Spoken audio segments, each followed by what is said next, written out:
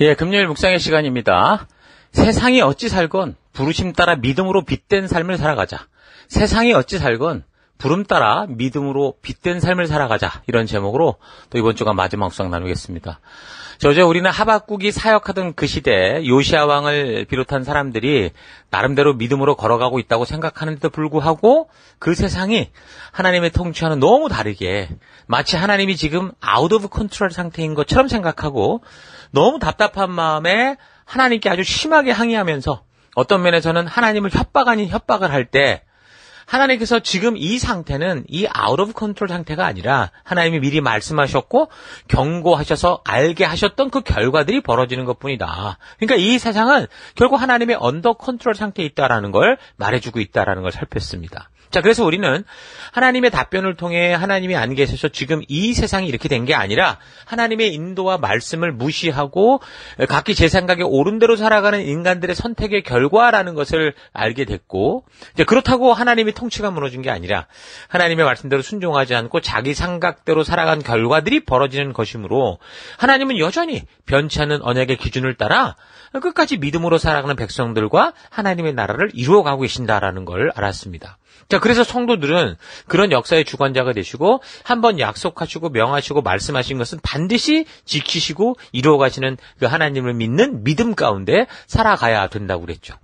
자, 그러면 어떻게 구체적으로 믿음으로 살아가느냐 하면 이건 어떻게 보면 단순한 거예요. 어려운 게 아니라고. 바로 하나님께서 그 신의 산에서 직접 그 나라 백성고 언약 백성으로 삼으시면서 주셨던 법도, 규례, 명령, 그 같이 그, 그, 그것 주신 하나님의 의도를 따라 신의 산 언약대로 순종하며 살아가는 거. 이게 사실은 성도로서 살아갈 오늘날도 여전히 변함없이 예수로 말미암아 그 하나님의 그 관계 가운데 들어왔고 새롭게 된 성도들 또한 마찬가지라는 거죠. 그래서 하나님이 주신 이 분명한 기준이 정확해야 요시아 왕처럼 자기가 나름대로 어려서부터 믿음 따라 살았잖아요. 8살 때부터 그렇게 뭐 왕이 돼서 살아가면서 근데 28살에 발견한 그 성경의 이 기준을 알게 되면서 이게 이, 이 기준이 분명하니까 요시아가 그동안 걸어왔던 열심을 했는데도 아 이게 잘못된 거였구나. 아 우리나라의 잘못이 이거였구나라는 걸 깨닫고 거기서 회개하고 그리고 백성들로 하여금 그 말씀의 길로 갈 수 있는 온전한 방향을 제시하는 그런 일들을 할 수 있었잖아요. 그러니까 하나님의 말씀, 이 분명한 기준, 하나님의 뜻은 너무너무 중요한 거예요. 결국 지금까지 우리가 살펴는 이 출애굽 이후의 역사들을 보십시오. 왜 이렇게 혼잡합니까? 결국 하나님이 분명하게 주신 그 법도 규례 약속, 그 신의 산 언약을 지켰냐, 그렇지 않느냐 때문에 지금 이렇게 역사가 흘러고 있는 걸 우리가 지금 확인하고 있지 않습니까? 하나님은 당신이 구원한 백성들과 하나님 나라를 세워가는 열방의 제사장이요 거룩한 백성으로 언약을 맺으며 약속하신 것을 한치의 오차도 없이 말씀하신 대로 지금 지켜가고 계세요. 그러니까 하나님은 당신이 말씀하신 것처럼 그를 믿는 백성들, 그 약속 가운데 나아가는 백성들을 반드시 책임져 주는 하나님이시죠. 그러니까 하나님은 상황과 환경에 따라 시대에 따라 이랬다 저랬다는 분이 아니라 회전하는 그림자도 없으실 만큼 야고보서 1장 17절에 말하잖아요. 변치 않는 마음으로 우리에게 계시하여 알게 하셨던 그 언약대로 행해 가시고 이끄시는 분이십니다. 그래서 진정으로 하나님이 자신을 구원하여 언약 백성 삼으셨다라는 것을 믿고 이게 무엇인지를 바르게 아는 그런 사람들에게 어떤 열매가 나타나냐. 반드시 언약의 말씀대로 그 가치대로 나아가는 변화의 삶, 순종하는 삶의 열매가 맺히게 돼 있죠.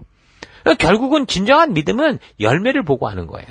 예수님께서도 구원받은 하나님의 자녀들은 그 열매를 보면 안다라고 말씀하시잖아요. 마태복음 7장 15절 거짓 선지자들을 삼가라 양의 옷을 입고 너희에게 나오나 속에는 노략질하는 일이다. 그러니까 겉을 보면 잘 몰라요. 그래서 뭐라고 그러냐면 16절 그들의 열매로 그들을 알지니 가시나무에서 포도를 또는 엉겅퀴에서 무화과를 따겠느냐 이와 같이 좋은 나무마다 아름다운 열매를 맺고 못된 나무가 나쁜 열매를 맺게 됐다. 그러므로 그들의 열매로 그거를 알아라라고 말씀하십니다. 그러니까 비록 거짓 선지자들을 구별하는 방법에 대한 이야기 같지만 거꾸로 본다면 이게 참된 선자를 구별해내고 참된 성도의 삶이 어떤 거구나라는 것을 분명하게 알게 하는 말씀의 기준이 되는 거죠.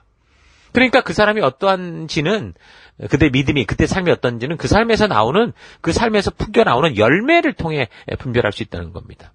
근데 어떤 사람들은 율법을 통한 하나님의 의도를 바르게 알아서가 아니라 그저 이제 율법에 기록된 종교 규칙이기 때문에 겉으로 보기에는 정말 마치 율법 그대로 행동하는 것처럼 보일 수 있어요. 그래서 이제 예수님께서 말씀하시기를 좋은 열매 맺는 삶이라는 게 단지 겉으로 뭐 교회당에서만 보이는 그런 모습만이 아니라 결국 아무도 보지 않는 그곳에서 그의 삶 전체에서 정말 하나님이 의도하셨던 그 삶의 그 어, 말씀, 그 하나님의 뜻을 따라 어, 그렇게 살아가고 있느냐. 그래서 어떤 상황과 환경이 다가와도 어, 그곳 그 안에서 정말 그 어둠 속에 빛을 비추는 삶을 사느냐, 소금된 삶을 사느냐. 이걸 통해 우리가 분명히 알 수 있다. 그렇게 이제 말하는 그 예수님이 말한 좋은 열매 맺는 삶이고 성도의 삶이어야 되는 거죠. 근데 안타깝게도 교회 안에 많은 사람들이 늘 교회를 떠나지 않고 살아가면서 겉으로는 너무 신령해 보일 수 있지만 그러나 이제 이사야 1장을 통해 말씀하듯이 하나님은 도저히 받을 수 없는 그런 교회 내에 그런 이제 그 알곡이 아닌 가라지 같은 그런 삶이 있다라는 것도 우리가 분명히 알아야 됩니다. 예수님께서 사역하실 때 예수님의 제자들이 전통을 따라 손을 씻고 빵을 먹지 않고 그냥 그냥 먹는 그런 사건 때문에 바리새파 사람들이 시비를 걸었어요. 그러니까 손을 닦고 먹는 거는 전통을 넘어서 율법의 어떤 하나의 굉장히 중요한 어떤 그들의 가치였거든요. 그때 예수님께서 뭐라고 그럽니까? 율법을 잘 지키겠다고 더 덧붙인 종교적 행동을 그렇게 겉으로 하는 것보다 하나님께서 그 율법을 주신 의도를 바르게 알고 그 뜻대로 자유하게 행하는 게 중요하다라는 걸 알게 하시죠. 그래서 마태복음 19장 16절 너희가 아직도 깨닫지 못하냐 입으로 들어가는 것은 뭐든지 뱃속으로 들어가서 뒤로 나가는 줄 모르냐 그러나 입에서 나오는 것들은 입에서 나오는 거는 마음에서 나오는 건데 그것이 사람을 더럽힌다 이렇게 말씀하시죠. 그러니까 하나님은 이런 사람의 중심을 보는 분이시죠. 그러니까 하나님이 그렇게 만드셨으니까 우리를 제대로 보시는 분이시라는 거예요. 단지 그래서 율법의 계명대로 행동하고 있다는 것보다 더 중요한 것은 그런 하나님의 그 율법을 주신 그 의, 이유, 그 의도를 알고 행해가는 거죠.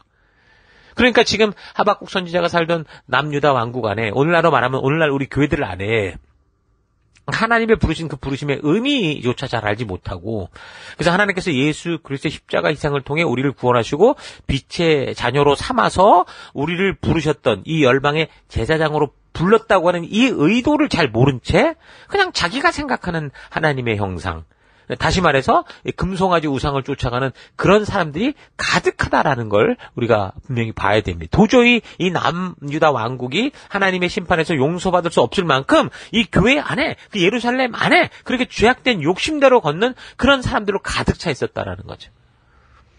그래서 함께 값없이 구원함을 얻어 하나님의 자녀가 됐다고 함에도 불구하고 예수님께서 오셔서 이 알곡과 가라지를 구분할 것이라고 말씀하신 것처럼 이 아브라함의 후손이다, 뭐 나는 성도다라고 하면서 분명히 알곡 같은 삶을 사는 그런 사람도 분명히 있는데 그렇지 않고 가라지처럼 사는 그런 사람들도 분명히 이 교회 안에 이 믿음의 공동체라고 하는 이 교회당 안에 많이 있다라는 겁니다. 그러니까 단지 교회를 출석하는 것 때문에 하나님의 자녀다고 한다면 어? 이스라엘 사람들처럼 자기들이 막 아브라함의 혈통적 후손이니까 하나님의 자녀다. 택함받은 백성이다. 이게 진짜라면 하나님은 지금 이 하박국서를 통해 이렇게 말씀할 필요가 없었죠. 그게 아니니까 이렇게 말씀하시는 거예요. 성경의 대부분의 이야기가 여러분 그렇게 남 얘기가 아니라니까요. 교회 밖에 있는 사람들에게 말씀하는 게 아니고요. 하나님의 백성이라고 자부하고 자신들이 구원받은 존재라고 자부하고 살아가는 그런 사람들을 향한 경고고 그런 책망에 말씀드린 거예요. 선지자들은 이방으로 보내질 않아요. 그 요나 선지자나 몇몇 외에는 다, 다 약속 백성들. 하나님과 언약한 백성들에게 와서 외쳤습니다. 예수님께서 제자를 보내실 때도 그렇게 하셨잖아요. 마태복음 10장 5절. 이방 사람의 길로도 가지 말고 또 사마리아 사람의 도시에도 들어가지 말고 이스라엘의 집에 이른 양떼에게 가라. 다니면서 하늘나라가 가까웠다 선포하라라고 말씀하셨어요. 어떻게 보면 우리 교회가 지금 추구하는 건 당연히 전도에 그런 포커스가 있는 건 맞는데 이거를 바르게 전하는 성경적 도, 이 원리를 따라가다 보니까 딱 예수님 말씀하시는 이 모습이 되는 것 같아요. 이스라엘 집에 잃은 양떼에게 이거 선포하는 그런 교회 모습으로 우리가 지금 이 사명을 감당해 가고 있습니다. 그럼 분명히 예수를 믿는 사람들은 반드시 구원을 받을 거다라는 건 성경의 약속이 맞아요. 그런데 사람들은 반드시 이 땅을 살아가며 믿음의 삶, 신실하고 충성된 삶, 말씀대로 순종하는 삶을 사는 열매를 맺는다는 것도 성경이 말씀하고 있다라는 거 잊지 말아야 돼요. 믿음으로 구원을 얻는데 열매로서 진짜를 안다라는 것도 잊지 말아야 된다고요. 그래서 말은 믿는다고 하면서도 열심히 교회당에 나오고 많은 종교 회사에, 행사에 뭐 빠짐없이 참여한다고 해도 진정으로 하나님과 맺은 언약 백성된 삶으로서의 열매들이 삶에서 나타나지 않으면 마치 이제 열 처녀 비유 같은 그런 결과가 되죠. 다섯 처녀는 주인이 오는 그때 그 잔치에 참여하는 사람이 됐는데 또 나머지 다섯 처녀는 같이 기다렸는데도 결국에는 참여하지 못하는 일들이 벌어지더라는 겁니다. 이건 지금 성경이 우리에게 말씀하는 거예요. 그러니까 하나님은 스스로 예수를 믿고 하나님을 말씀을 안다고 하는 사람들에게 분명하게 말씀하시는 거예요. 12장 누가 보면 12장 40절 주인의 뜻을 알고도 준비하지 않고 그 뜻대로 행하지 아니한 종은 많이 맞을 거다. 그러니까 하나님은 여러분의 간절한 기도의 모습을 보거나 뭐 얼마나 감동적인 기도의 내용을 가지고 뭐 하박국처럼 요나처럼 조목조목 따져서 잘 하느냐 이걸 보는 게 아니라 여러분의 삶의 현장 말씀대로 살아보려고 애쓰고 순종하는 그런 삶의 현장. 비록 쓰러지고 넘어지고 실패가 많아도 바로 그 중심을 보시는 거예요. 그래서 하나님 나라의 백성다운 그 가치와 기준을 따라 살고자 하느냐. 이것이 하나님이 보시는 예, 그런 하나님의 눈인 거죠. 그래서 여러분들이 교회당에 와서 드리는 어떤 입술의 기도가 아니라 여러분의 삶의 현장에서 좀 말씀의 가치대로 살아내는 그런 삶의 모습, 그 땀 흘림이 진정한 기도가 되는 거예요. 하나님이 들으시는 기도가 되는 거죠. 그래서 하나님께서 하박국 선지자에게 그런 하나님을 믿고 말씀대로 살아가는 그런 사람들은 지금 그들에게 처한 상황과 환경이 어떠하든 네가 걱정하지 않아도 돼. 그들은 이런 믿음을 가지고 어, 나의 나와의 그 동행의 길을 걷고 있기 때문이다라는 거죠. 진정한 의인이 있다면 그런 진정한 의인들은 하나님의 신실하심을 믿기 때문에 어떤 상황과 환경 속에서도 쉽고 빠른 길, 세상의 길로 가지 않고 반드시 믿음의 길을 갈 거야. 그들은 아기판을 치는 그런 세상에서 억울하다고 어, 그냥 주저앉지 않고 또 거짓된 돈으로 배불리 살고 뭐 거짓말로 1등이 되기보다 정직한 2등이 되는 걸 두려워하지 않고 그 말씀의 가치를 따라 살아가는 거야. 그들은 그렇게 살고 있어라고 말하는 거죠. 그래서 하나님의 살아계심을 진정으로 믿는 이들에게는 지금 자기의 상황과 이 세상의 어떤 상황이든 믿음으로 살아가는 일에 아무런 문제가 되질 않아요. 상황과 환경이 어려워서 우리가 못한다는 건 핑계라는 거죠. 여러분의 삶의 현장에서 드러나는 여러분의 마음은 정말 어떤 겁니까? 정말 그 상황과 환경이 어찌하든 간에 이 약속 앞에 나가는 자입니까? 아니면 늘 그 모든 보이는 것이 핑계거리가 되고 있습니까?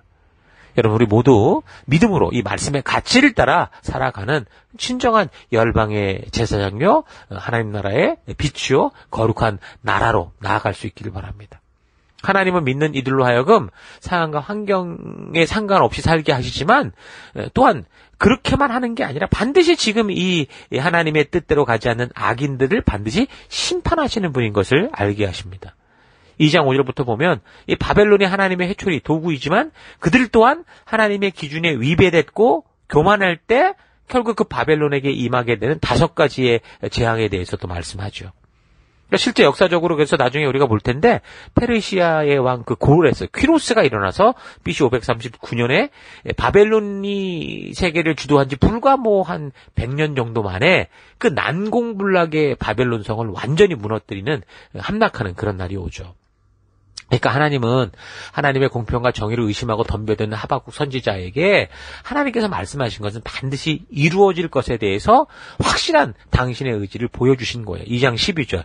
피로 성읍을 건설하며 불의로 성을 건축하는 자에게 화 있을진저. 바벨론에게 바벨론에 대한 얘기겠죠. 민족들이 불탈 것으로 수고하는 것과 나라들이 헛된 일로 피곤하게 되는 것이 만군의 여호와께로 말미암음이 아니냐. 이는 물이 바다 덮음 같이 여호와의 영광을 인정하는 것이 온 세상에 가득합니다. 그러니까 우리가 이 물이 바다 덮음 같이 이런 찬양을 종종 하는데 이거는 사실 오늘 우리 시대를 두고 하는 말씀은 아닙니다.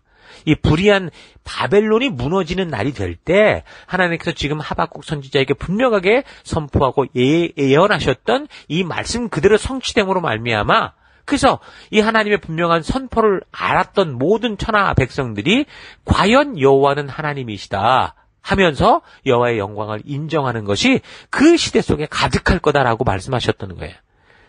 이 하나님의 말씀은 1.1핵도 땅에 떨어지지 않고 반드시 그 말씀대로 이루어진다고 그랬죠. 그래서 실제로 그렇게 이루어지게 되는 걸 우리가 역사를 통해 확인할 수 있습니다. 이제 그렇게 이제 2장 20절까지 보면 하나님은 계속해서 이 교만한 바벨론에 대해 어떻게 멸망시킬 건지 그걸 말씀하십니다. 그러니까 결국 하박국이 뭘 모르는 기도, 그러니까 개념이 없는 그런 어떤 항의에 대해서 하나님이 어떤 분이신지 당신을 계시하여서 분명하게 말씀해 주시면서 더불어서 계속 하나님이 이루실 그 미래의 일들을, 그러니까 하박국이 전혀 알지 못하는 그 미래의 일들까지 말씀을 해 주신 겁니다. 그래서 하나님은 그 의인들을 지키듯이 지금 마치 승승장구하는 것 같이 보이는 악한 자들의 삶도 다 보고 계시고 심판하실 거라는 거죠. 그러니까 뭐라는 거예요? 악인의 형통? 야 그런 것 없어. 난 의롭고 공의로운 하나님이야. 바벨론은 네가 그렇게 열받고 분노하지 않아도 내가 다 심판할 거야라는 거죠. 확실히 하나님의 그 하나님 되심과 하나님의 그 분명한 그 뜻을 하바국 선자에게 보여주신 겁니다. 그러니까 결국 하나님은 택한 백성이냐 아니냐 이걸 따라서 심판하는 게 아니라는 거예요. 아브라함의 후손이냐 아니냐 이건 중요한 게 아니에요. 하나님을 신실하게 믿음으로 이 땅 속에서 끝까지 주님이 부르신 그 말씀의 가치를 따라 그 길을 걸었냐, 그렇지 않으냐에 따라서 심판하는 것을 하박국이, 예, 하박국에게 말씀하신 거죠. 결국 그 믿음의 길에서 벗어난 모든 것들이 심판받는 것을 알게 하시는 겁니다. 자, 그래서 이제 하박국 선지자가 진짜 두려움에 빠지죠. 그래서 뭐라고 합니까? 3장 2절. 오, 주님, 제가 방금 주님의 답변을 들었습니다. 주께서 계획하신 그 무서운 일들이 두려워서 저는 떨립니다. 그 일이 너무 먼 미래에 하지 마시고 속히 이루어 주십시오. 주께서 간섭하시는 모습을 저도 직접 체험하게 하여 주소서. 주님의 진노가 폭발할 때 우리에게는 국리를 베풀어 주세요. 이러는 거예요. 그러니까 하박국 선지자는 나름대로 하나님 말씀대로 살아가며 스스로 신실하다고 생각했는지 모르지만 단지 하나님의 말씀을 자기의 생각을 주장하기 위해서 쓰기만 했던 자신의 모습을 보는 거죠. 그래서 율법을 단지 종교적 규범으로만 지켜왔고 하나님의 말씀을 가지고 하나님을 목 목졸르고 했던 그런 자신의 모습을 보면서 아 이 또한 내가 심판받을 모습이구나라는 걸 알게 되니 하박국이 두렵고 떨리는 거죠. 3장 16절 내가 들었으므로 내 창자가 흔들렸고 그 목소리로 말미암아 내 입술이 떨렸도다. 무리가 우리를 치러 오는 올라오는 한란 날을 내가 기다림으로 썩이는 것이 내 뼈에 들어왔으며 내 몸은 내 처소에서 떨리도다.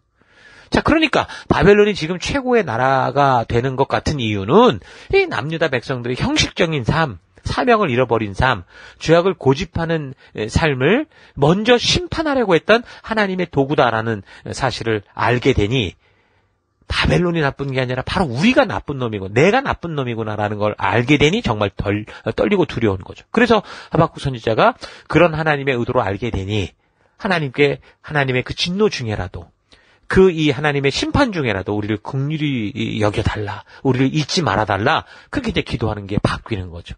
그러니까 이게 진정한 기도고 진실한 기도인 거예요. 그러니까 하나님의 의도를 알면 바른 기도가 나오게 돼 있죠. 그러니까 하나님의 진심을 만나면요, 우리 삶이 바뀌어요. 그래서 우리의 기도가 바뀝니다.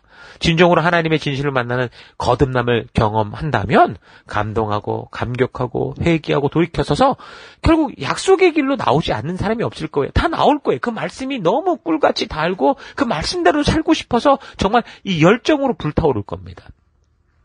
자, 혹시 우리 안에 지금 이 하박구 선지자가 오해했던 것 같이 그런 오해가 우리 가운데 있다면 이렇게 우리 성경과 역사를 통해 하나님의 진심을 좀 바르게 만나서 좀 거듭남으로 하나님이 찾으시는 그 한 사람, 어, 이 어둠 속에서도 그 나라를 이루어갈 그 믿음의 사람, 그 언약 백성으로 여러분 담대히 나아가는 우리가 될 수 있기를 바랍니다.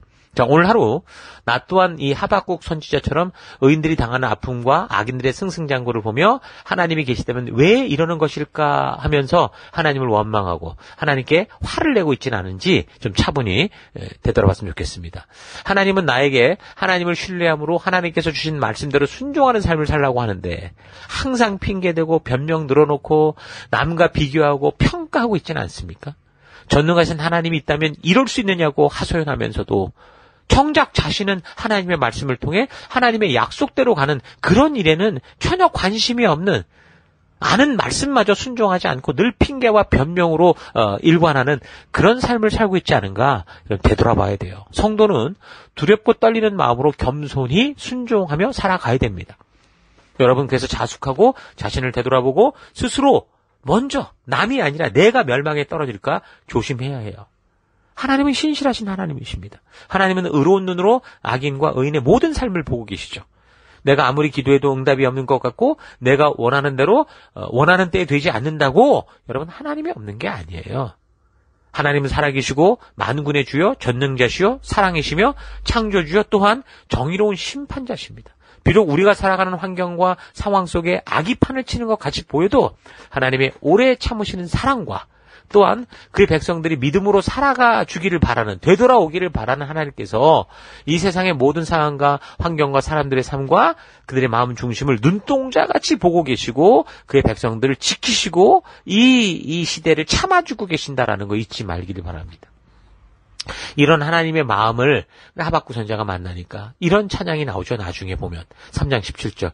비록 무화과 나무가 무성하지 못하고 포도나무 열매가 없고 감람나무에 소출이 없고 밭에 먹을 것이 없고 우리의 양이 없고 외양간에 소가 없어도 나는 여호와를 찬양하겠습니다. 그래요. 우리의 믿음은 상황과 환경에 따라 움직여지지 않는 거예요. 왜 이런 찬양을 합니까? 하나님을 진실로 살아계시고 하나님을 찾는 이들을 진실로 외면하지 않고 우리 작은 신임에도 하나님이 응답하고 계시고 그 의로운 백성들의 눈물을 그의 가슴에 담고 함께 울어주시는 하나님이시기 때문에 그러는 거예요.